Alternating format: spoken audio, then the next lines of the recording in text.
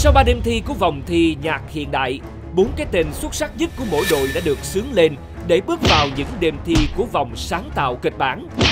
Ở vòng thi này, những tin tức, những chủ đề mà chúng ta vẫn được xem hàng ngày trên báo chí sẽ được sân khấu hóa với những giai điệu vòng cổ cải lương quen thuộc. Tao mày có có thì có Và hy vọng rằng, thông qua những câu chuyện, những thông điệp mà các huấn luyện viên truyền tải qua các tiết mục, chúng ta sẽ bắt gặp chính bản thân mình đâu đó để nhận ra những giá trị thực của cuộc sống.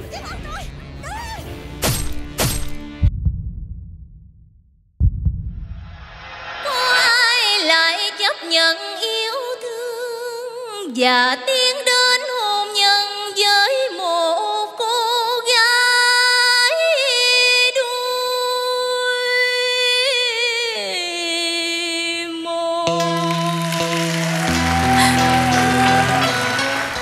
Hấp dẫn, kịch tính nhưng không kém phần cảm xúc của vòng thi sáng tạo kịch bản. cảm động vì các bạn.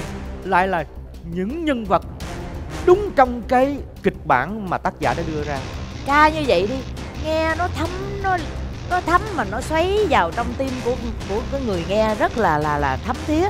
Vì cuộc đời của cha đã vô tình mang tới nỗi đau cho hai người xa lạ mà họ đã hết Và thương yêu nhưng phải chịu đau khổ âm thầm.